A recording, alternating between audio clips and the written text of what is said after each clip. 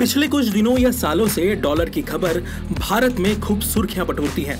हम सुनते हैं कि डॉलर के मुकाबले रुपए की कीमत इतने पैसे या इतने रुपए गिर गई है।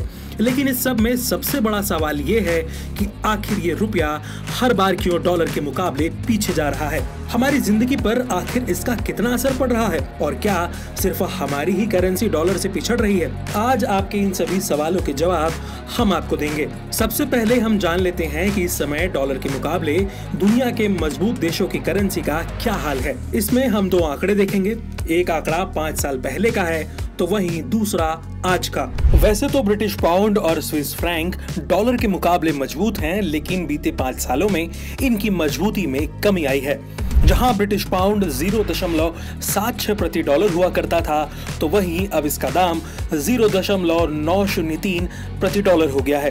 वहीं स्विस फ्रैंक की बात करें तो एक समय यह ज़ीरो दशमलव नौ आठ प्रति डॉलर हुआ करता था, जो कि अब बढ़कर ज़ीरो दशमलव नौ नौ चार प्रति डॉलर हो चुका है। वहीं यूरो की बात करें तो जो यूरो पाँच साल पहले डॉलर से मज़बूत हुआ करता था, वो आज उसकी तुलना में अब कमज़ोर हो चुका है, जहाँ पाँच साल पहले यूरो की कीमत आठ पाँच प्रति डॉलर हुआ करती थी। वहीं अब इसके दाम एक दशमलव ज़ीरो तीन प्रति डॉलर हो चुके हैं। अगर बात करें कैनेडियन डॉलर की तो पाँच साल पहले जहाँ इसकी कीमत एक दशमलव दो आठ प्रति डॉलर हुआ करती थी वहीं इसकी कीमत अब एक दशमलव तीन सात प्रति डॉलर हो गई है।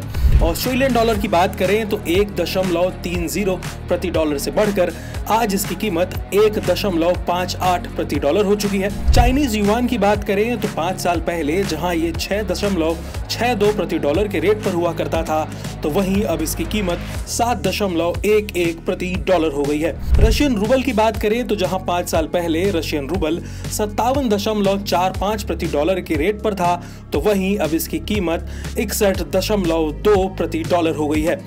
वहीं भारतीय रुपीस की बात करें तो जहाँ पाँच साल पहले भारतीय रुपया पैंसठ दशमलव एक शून्य प्रति डॉलर हुआ करता था तो वहीं मौजूदा वक्त में इसकी कीमत बयासी दशमलव सात प्रति डॉलर हो गई है।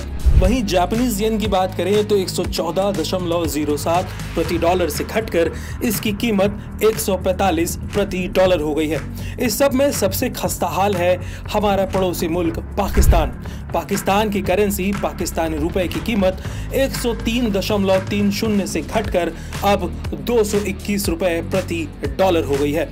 और यही वजह है कि पाकिस्तान में महँगाई अपने चरम पर है। तो आपने देखा कि सिर्फ़ रुपया ही नहीं, कई देशों की करेंसी का भी यही हाल है।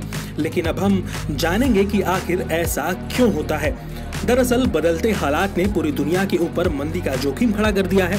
अमेरिका में महँगाई 41 सालों के उच्च स्तर पर है। इसे काबू करने के लिए फेडरल रिज़र्व तेज़ी से ब्याज दरें बढ़ा रहा है। महँगाई के ताज़ा आंकड़ों को देखने के बाद अमेरिका में ब्याज दर में एक झटके में एक फ़ीसदी की बढ़ोतरी की आशंका तेज हो गई है।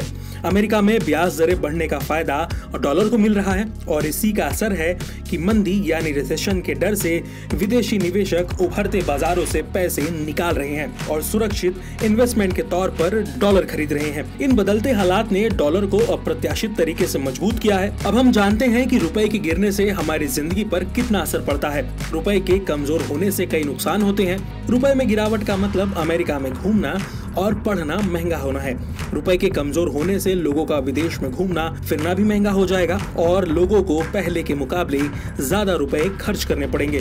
रुपया कमज़ोर होने से आयात करना महँगा हो जाएगा। तेल आयात करना हमारे लिए महँगा हो जाएगा। और इसका असर ये होगा कि सब्ज़ी से लेकर रोज़मर्रा की चीज़ें महँगी हो जाएँगी, क्योंकि इनका ढुलाई खर्च बढ़ जाएगा। ऐसा नहीं है कि रुपया कमज़ोर होने से सिर्फ़ नुकसान होता है। इसके कुछ फ़ायदे भी हैं। कमज़ोर रुपया निर्यातकों के लिए अच्छी खबर है। इसकी वजह यह है कि उन्हें विदेश में सामान बेचने से आय होती है और उन्हें अपने उत्पाद की ज़्यादा कीमत मिलती है।